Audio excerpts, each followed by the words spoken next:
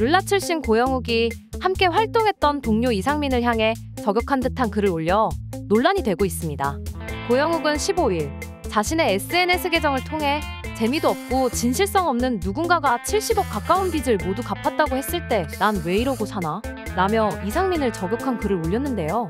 이상민이 최근 SBS 예능 미우새에 나와 20년 만에 69억 7천만 원의 빚을 모두 갚았다고 밝혔기 때문입니다. 과거 논란이 된 이후 SNS에도 잠시 모습을 드러냈다가 사라졌던 고영욱.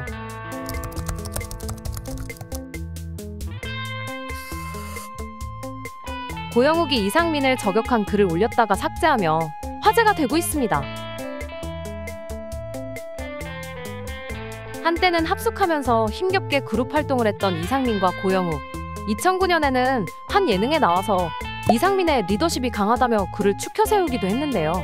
15일 자신의 SNS를 통해 재미도 없고 진실성 없는 누군가가 70억 가까운 빚을 모두 갚았다고 했을 때 난 왜 이러고 사나? 라며 잠은 무력해졌다고 적었습니다. 또 간사한 주변 사람들이 거의 떠나갔다며 자신의 삶이 썩 나쁘지 않다고도 했는데요.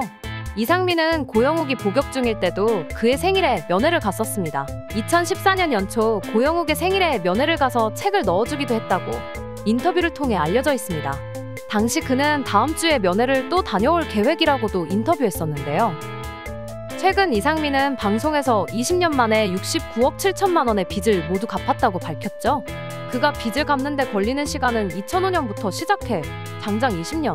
그런 글을 보며 비아냥대듯 말하는 고영욱에 대해 누리꾼들의 반응은 냉랭한데요.